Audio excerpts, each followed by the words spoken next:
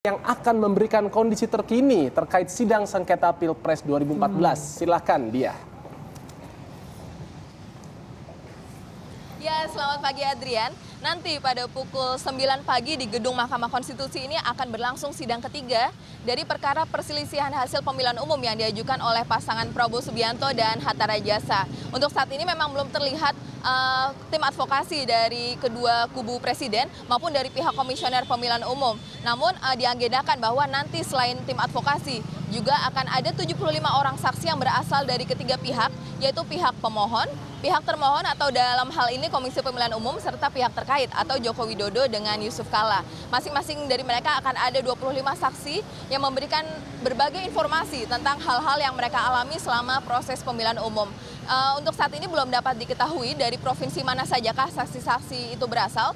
Namun tadi saya mendapat keterangan dari salah satu tim advokasi Jokowi JK dan ia menyampaikan bahwa para saksi akan memberikan informasi bahwa menurut mereka proses pemilu pada bulan Juli lalu sudah berlangsung secara jujur dan adil dan mereka juga akan memberikan pernyataan bahwa selama proses rekapitulasi baik di tingkat bawah maupun hingga ke tingkat nasional, pihak Prabowo Hatta yang hadir dalam proses perhitungan suara juga sudah menandatangani berita acara dan menurut mereka hal itu sudah sah. Selain dari saksi, nantinya jika waktunya cukup, majelis hakim juga akan memberikan informasi, yaitu tepatnya pengesahan barang bukti. Dan di bagian dalam gedung MK sendiri juga sudah ada beberapa box yang berisi barang bukti dari beberapa provinsi, namun belum dapat diketahui apakah itu barang bukti yang disampaikan oleh kubu Prabowo Hatta maupun dari Komisi Pemilihan Umum. Dan terkait dengan sidang ketiga ini, para polisi juga sudah mulai berjaga sejak pagi tadi.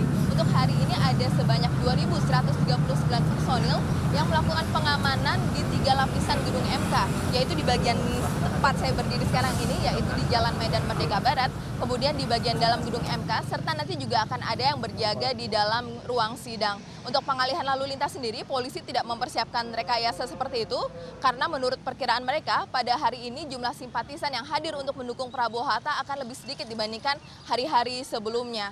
Dan karena itu, eh, saya ingin menyampaikan informasi sedikit juga, bahwa pada hari Jumat lalu, uh, sudah dilakukan juga sidang kesaksian yaitu ada sebanyak 25 orang saksi dari Prabowo Hatta yang menyampaikan info tentang proses rekapitulasi di tiga provinsi yaitu di Jawa Timur, Jawa Tengah dan juga DKI Jakarta. Namun dari hasil persidangan tersebut beberapa pihak seperti dari KPU maupun dari kubu Jokowi Dada uh, Joko Widodo maksud saya menyatakan bahwa menurut mereka kesaksian disampaikan oleh 25 saksi tersebut dianggap seperti tidak real atau tidak nyata karena mereka menyampaikannya baik secara terbata-bata ataupun uh, kurang lancar sehingga informasi yang didapatkan menurut mereka uh, bukanlah informasi yang valid.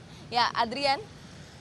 Baik, terima kasih Putu Dia dari depan gedung Mahkamah Konstitusi Jakarta Pusat. Ini memang apa ya merupakan salah satu proses demokrasi yang harus terus kita dukung. Ya, mungkin ada pihak yang tidak puas, silahkan menggugat, tapi harus disertai memang dengan aturan-aturannya yang benar. Tidak hmm. boleh dengan cara-cara misalnya nanti yang anarkis demo ya silakan, tapi juga harus tertib. Iya. Betul. Nanti ya enggak? keputusannya tanggal berapa Shanas? 20... 22 Agustus ya? 21 Agustus. 21 Agustus. Pengumumannya okay. dari MK.